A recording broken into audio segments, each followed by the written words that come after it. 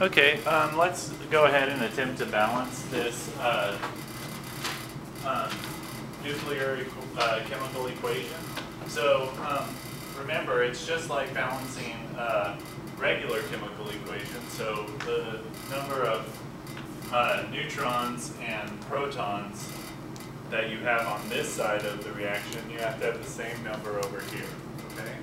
So if we add up our total number, our total mass number, right, that's gonna be twenty-eight here, and this is twenty-seven, so this mass number has to be one.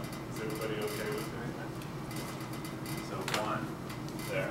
And if we look for our number of protons, we have eleven plus two, that's thirteen, and over here, we have thirteen as well. So this is gonna be zero. Okay, so, um, the particle that's here is just a neutron. Okay. So, something that has a mass of one and zero protons.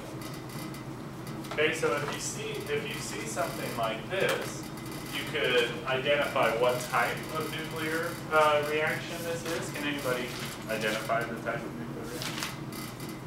This is fission, yeah, very good, this is fission. So fission is when you have a heavy atom that's bombarded with a small, um, particle and is broken up. And here's another, um, nuclear, uh, particle that we often see. So a decay particle, does anybody know what it's called? What type of particle? This is an alpha particle. So.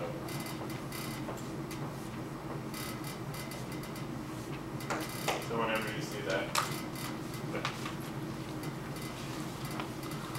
Are there any questions on this one? And the rest are gonna be very similar to.